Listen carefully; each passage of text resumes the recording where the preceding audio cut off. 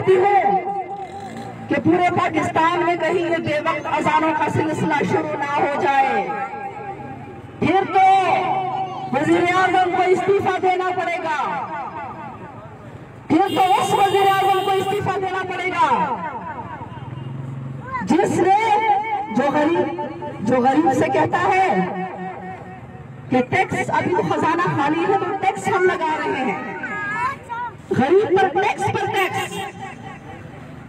دوائیاں مہنگی، ہر چیز مہنگی، ٹرین کا کرایہ مہنگا، ٹرانسپورٹ کے کرایہ مہنگے۔ قربانی پر ٹیکس، سرکاری ملازمین کے تنخواہوں پر انکم ٹیکس پاسپورٹ پر ٹیکس، اور تو اور مردے پر ٹیکس ہو گیا ہے اس حکومت میں۔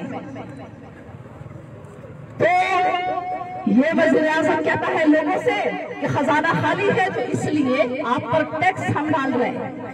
اور اس لیے ہم نے دس ہزار ارب ڈالر سے زیادہ کا کو مخلوص کر دیا ہے۔ لیکن ایک صدارتی آرڈیننس کے ذریعے سے صدر مملکت نے کچھ سرمایہ داروں کے دو سو آٹھ ارب روپے کا قرضہ معاف کر دیا۔ اس حکومت نے ریاست مدینہ کی انصاف پسند حکومت نے کچھ سرمایہ داروں کے دو سو آٹھ ارب روپے کا قرضہ معاف کر دیا۔ کیا یہ دو پاکستان نہیں ہے کہ غریب کے لیے ایک پاکستان ہے اور امیر کے لیے اور سرمایہ دار کے لیے دوسرا پاکستان ہے؟ یہاں پر تو سارے چور ہیں۔ عوام تو پچھلے حکمرانوں سے کم تھے۔ اب یہ نئے حکمران چور آ گئے ہیں۔ کیونکہ چیئرمین نیب کہتا ہے کہ جس دن میں نے موجودہ حکومت کے منسٹروں کے خلاف ایکشن لیا تو حکومت گر جائے گی۔ یہ تو وہی بات ہوئی کہ عوام کو سو چھتر کھانے پڑے پچھلے حکمرانوں سے اور موجودہ حکمرانوں سے سو پیاز کھانے پڑ رہے ہیں۔ عوام جائیں تو کہاں جائیں؟ پچھلے دنوں یہاں مولانا فضل الرحمان صاحب نے احتجاج کیا تھا۔ میں مولانا صاحب سے کہتی ہوں کہ آپ ایک عالم دین ہیں اور میں آپ کا احترام کرتی ہوں۔ نوکریاں، اب تو حکومت نے کہہ دیا ہے کہ نوکریاں، ایک لاکھ نوکریاں یا ایک کروڑ نوکریاں فراہم کرنا ہمارا کام نہیں ہے۔ فواد چودھری نے کہا اور اس کے بعد مشیر خزانہ نے کہا کہ نوکریاں فراہم کرنا ہمارا کام نہیں ہے۔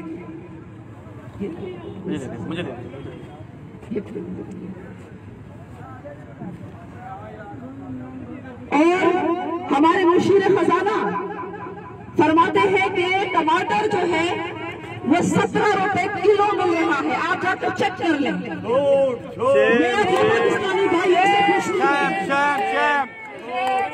میں اپنے پاکستانی بہنوں سے پوچھتی ہوں۔ کیا آپ کو یہاں ٹماٹر سترہ روپے کلو میں مل رہا ہے مجھے جواب دیں۔ ایک سو ستر پر بھی نہیں ہے۔ ایک سو ستر میں بھی آپ کو نہیں ملے گا یہاں پر ٹماٹر پیاز جو ہے وہ سو روپے کلو ہے۔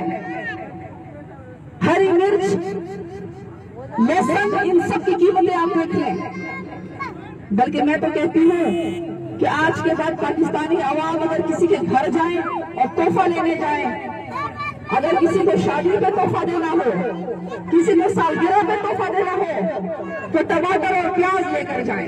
اس سے۔ قیمتی تحفہ اور کوئی نہیں ہو سکتا۔ شیف شیف شیف اور ہمارے وزیر اعظم جو شیخ چلی ہیں اور شیخ چلی ایسا شخص ہوتا ہے جس کے پاؤں سے ٹن گرنا کسی بھی وقت آپ توقع کر سکتے ہیں۔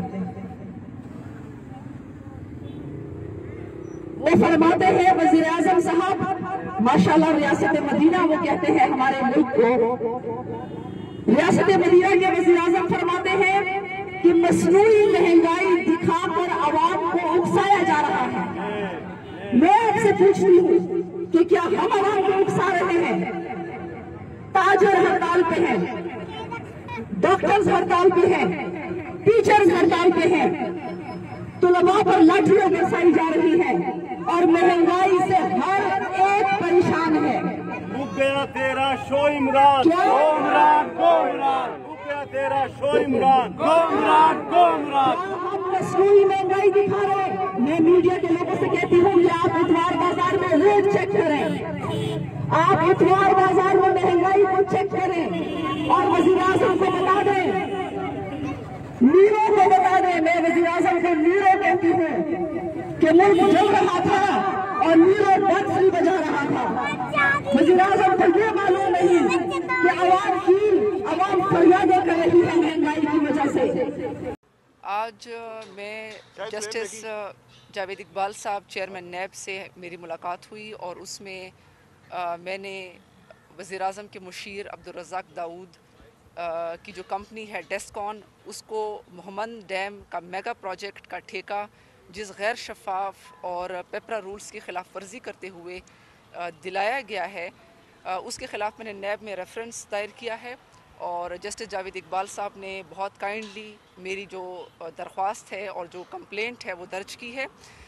جسٹس جاوید اقبال صاحب پہلے بھی سپریم کورٹ میں قوم کو انصاف فراہم کرتے رہے ہیں اور اس وقت بھی وہ نیب میں موجود ہیں اور مجھے امید ہے کہ جس طریقے سے وہ دلیری سے اور بہادری سے حکومت اور اپوزیشن سب کے خلاف بلا امتیاز کاروائی کر رہے ہیں، تو اس سے ان کاروائیوں سے نیب پر ہم، ہمارا اعتماد قائم ہوا ہے اور نیب پر ہمارا اعتماد ہے۔ اسی وجہ سے آج ہم پاکستانی غریب لوگوں کے پیسوں کی ریکوری کے لیے اور تحقیقات کے لیے ہم ان کے پاس یہاں پر آئے ہیں اور میں سمجھتی ہوں کہ نیب اس وقت ایک جہاد کر رہا ہے پاکستان میں، اس پر بہت اٹیکس ہوئے ہیں۔ جاوید اقبال صاحب پر بڑے اٹیکس ہوئے ہیں، لیکن پوری پاکستانی قوم ان کے ساتھ کھڑی ہے۔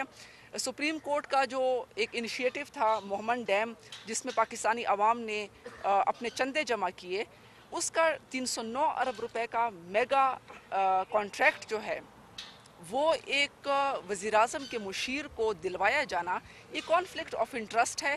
اور میں وزیر اعظم صاحب سے پوچھتی ہوں کہ جب آپ اپوزیشن میں تھے تو سب کے اوپر آپ تنقید کرتے تھے کہ کانفلکٹ آف انٹرسٹ نہیں ہونا چاہیے اور ہم کانفلکٹ آف انٹرسٹ کے اوپر بہت کام کریں گے۔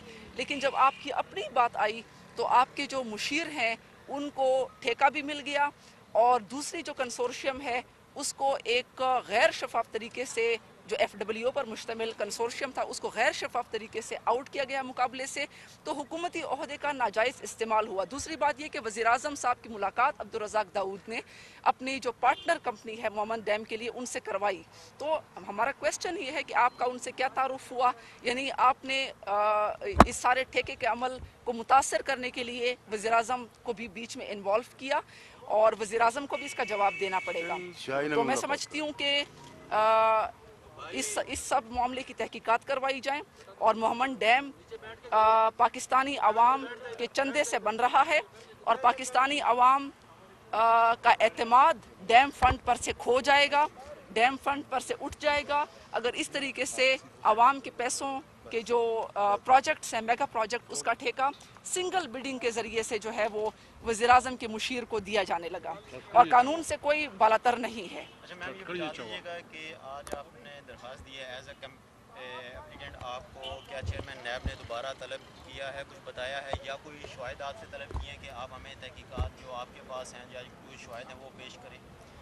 دیکھیں فی الحال تو میں نے جو میرے پاس پروف سے اس کے ایویڈنس تھے وہ میں نے جمع کروائے ہیں، اس میں مختلف میڈیا رپورٹس تھیں، مختلف اخبارات کے آرٹیکلز تھے اس کے اوپر، جس میں وزیراعظم کے، مشیر کے اوپر کانفلکٹ آف انٹرسٹ کی بات کوسچن اٹھائے گئے تھے۔ تو میں نے ان کے پاس آج ساری درخواست جمع کروائی ہے۔ ہماری پارٹی پاکستان تحریک انصاف گلالئی کی طرف سے۔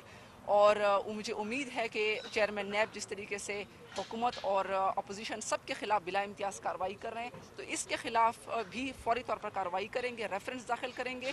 اور میں سمجھتی ہوں کہ اس معاملے کی تحقیقات ہونی چاہیے تاکہ ڈیم فنڈ کے اوپر سے عوام کا اعتماد نہ اٹھے اور چیف جسٹس عاقب نثار نے بہت اس کے لیے بہت بڑا سٹیپ اٹھایا تھا سپریم کورٹ آف پاکستان نے بڑا سٹیپ اٹھایا تھا۔ تو کم از کم وہ سٹیپ جو ہے وہ اس طریقے سے کرپشن کی نظر نہیں ہونا چاہیے۔ شکریہ۔ میں تو کہتی ہوں کہ پورے پاکستان میں کہیں یہ بے وقت ازانوں کا سلسلہ شروع نہ ہو جائے۔ وزیر اعظم کو استعفی دینا پڑے گا پھر تو اس وزیر اعظم کو استعفی دینا پڑے گا جس نے جو غریب جو غریب سے کہتا ہے کہ ٹیکس ابھی تو خزانہ خالی ہے تو ٹیکس ہم لگا رہے ہیں غریب پر ٹیکس پر ٹیکس دوائیاں مہنگی ہر چیز مہنگی ٹرین کا کرایہ مہنگا ٹرانسپورٹ کا کرایہ مہنگا قربانی پر ٹیکس سرکاری ملازمین کے تنخواہوں پر انکم ٹیکس پاسپورٹ پر ٹیکس اور تو اور مردے پر ٹیکس ہو گیا ہے اس حکومت میں. تو یہ وزیر اعظم کہتا ہے لوگوں سے کہ خزانہ خالی ہے تو اس لیے آپ پر ٹیکس ہم ڈال رہے ہیں. اور اس لیے ہم نے دس ہزار ارب ڈالر سے زیادہ کا کو مخوص کر دیا ہے. لیکن